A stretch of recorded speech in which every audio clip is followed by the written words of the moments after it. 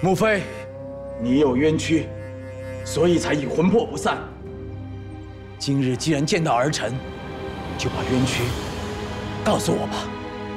儿臣一定会为母妃伸冤昭雪。如意，托马帕里萨苏里，所以米那莫诺。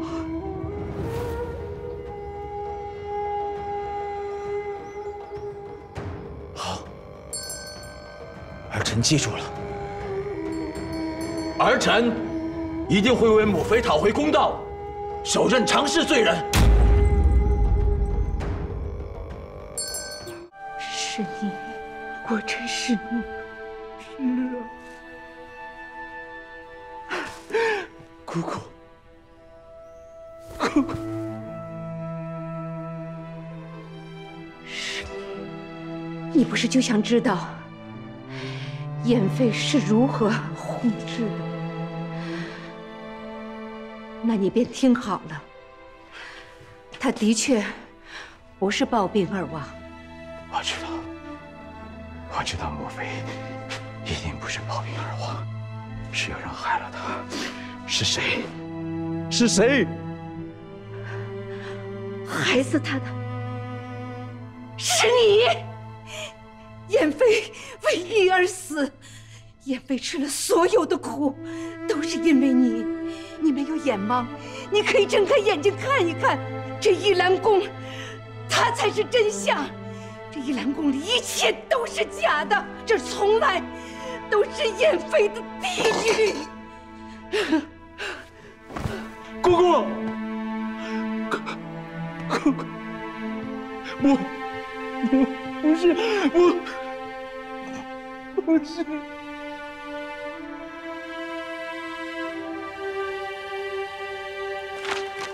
从今往后，下旨封禁怡兰宫，擅闯进宫者，杀无赦。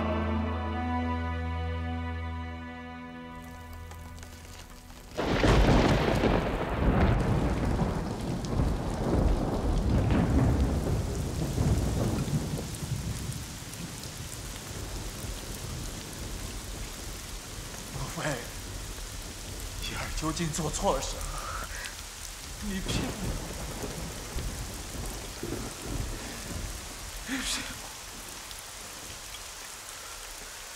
你骗我！你骗我！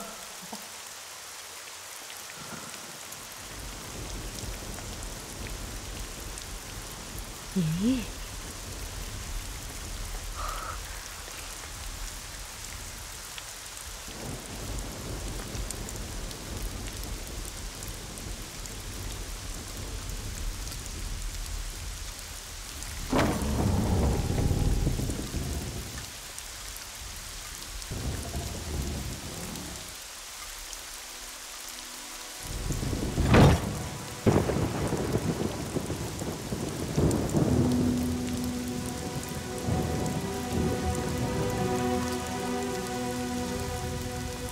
宁毅，你怎么了？下雨了，你快去躲躲雨啊！宁毅，滚！滚！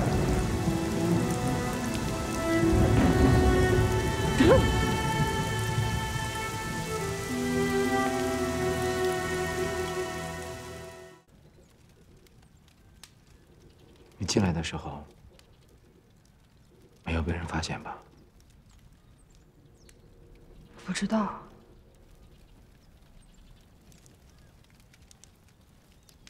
那你知道这是什么地方吗？不知。这是我母妃生前生活的地方。那也就是殿下曾经生活过的地方了。八岁之前，我就一直在这里。但是我昏迷之后，昏迷之后再醒过来，就再也没有回来过。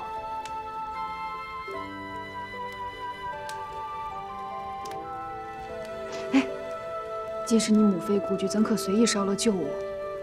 万一毁了什么有意义的东西，岂不后悔？人都没了，这些都是身外之物。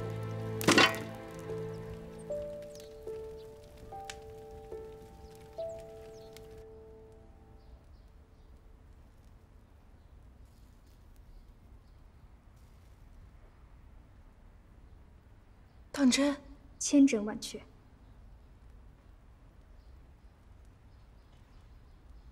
走，去找庆殿。是。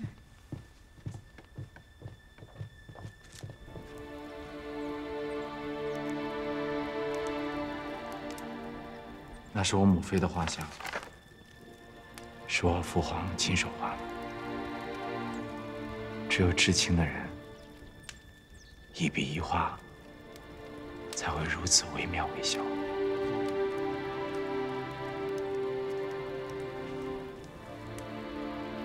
可是这画像怎么？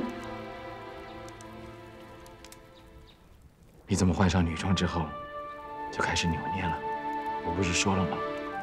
人都没了，都是身外之物。我是怕你睹物思人。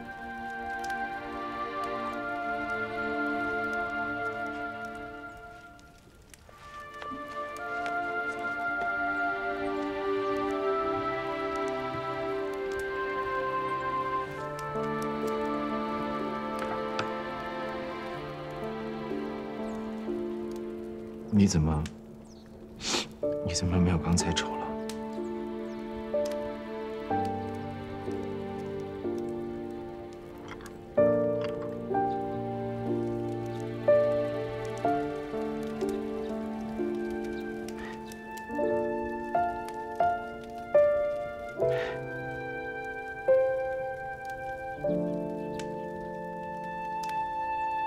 你知道，随意诬陷他人私闯进宫，可是死罪。奴婢不敢欺瞒贵妃。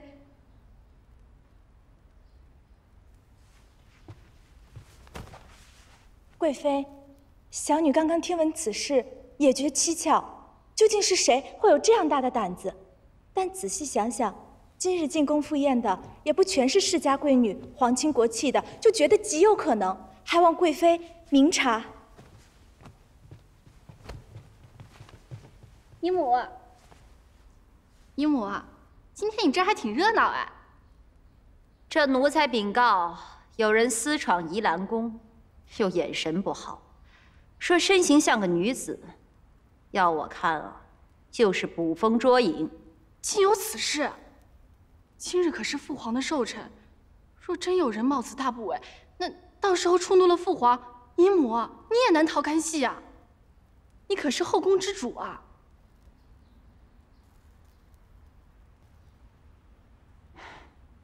来人，在。去给我借一对金羽卫，跟本宫前往依兰宫。是。雨停了。莫非轰逝之后，这依兰宫就成了禁地。父皇下旨，任何人不能靠近此地。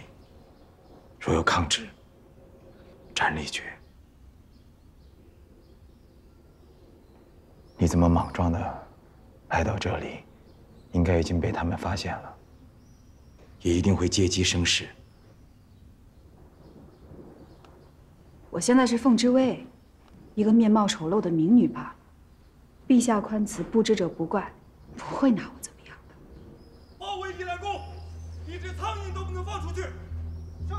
那我们的人来了。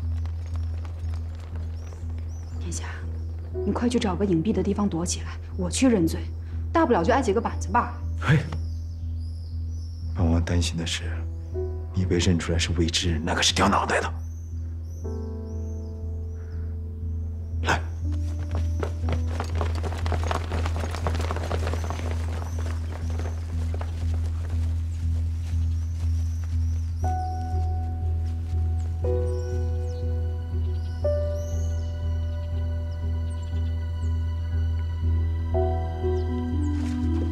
公主殿下，你不能进呐！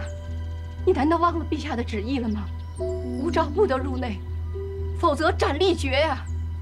殿下，你忘了那前年才进宫的惠美人，她是怎么死的了吗？姨母那我们应该怎么办呀？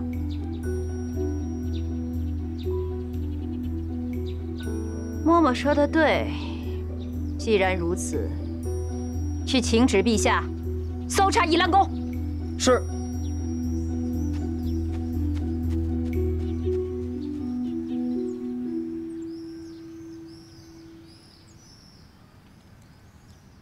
讨旨搜宫，是陛下。这常贵妃好大的火气呀！何人招惹了她？这是又要搜谁的宫院呀？回禀陛下，是搜宜兰宫。又是为了宁毅？陛下圣明。如今常贵妃带着金羽卫，把宜兰宫团团围住，里边的人出不来，外边的人进不去呀。抗旨的心思不正，遵旨的也未必纯良。朕要休息，谁也不见？遵旨陛下。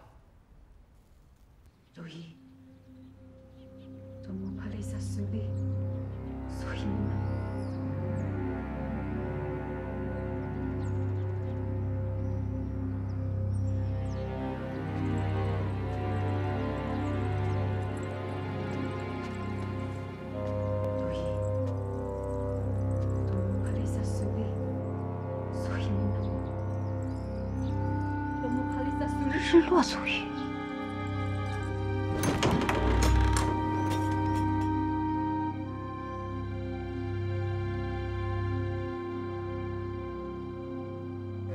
母妃，你有冤屈，所以才已魂魄不散。今日既然见到儿臣，就把冤屈告诉我吧，儿臣一定会为母妃伸冤昭雪。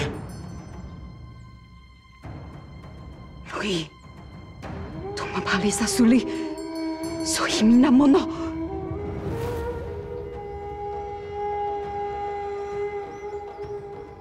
好，儿臣记住了。儿臣一定会为母妃讨回公道，手刃常氏罪人。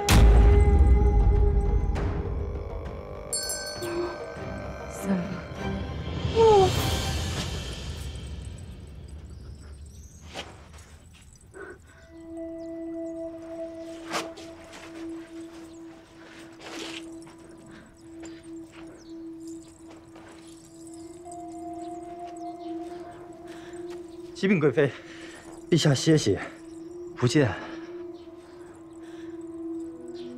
回宫。今日之事谁再敢提及，本宫绝不轻纵。